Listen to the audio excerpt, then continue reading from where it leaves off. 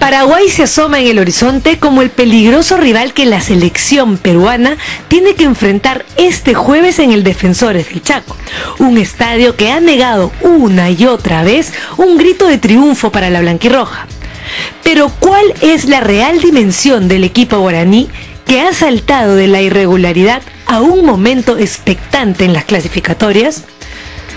De hecho, la selección peruana en la era Ricardo Gareca le ha ganado en dos oportunidades.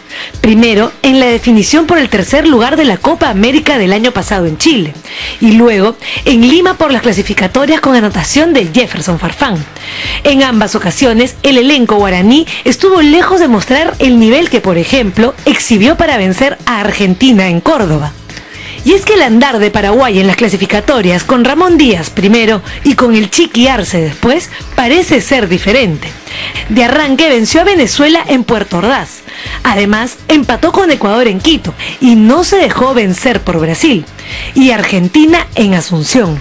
Además, metió un triunfo clave ante Chile en los defensores del Chaco, con bastante temperamento y orden. La inmerecida caída ante Colombia en Asunción con gol sobre la hora de Edwin Cardona, lejos de desmoralizar a los guaraníes que venían de ser goleados por Uruguay en el centenario, fue como un bálsamo para conquistar ese triunfo histórico sobre el albiceleste.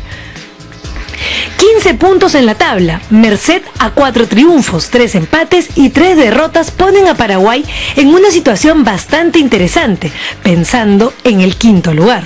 Curiosamente, esta no parece ser una selección sólida defensivamente como antaño nos tenían acostumbrados. Anotó 10 goles y recibió 12. Es ahí donde se encuentra el punto débil de un equipo que todavía mantiene esa sana costumbre de bombardear desde el aire con eficacia. Mucho cuidado con las pelotas detenidas.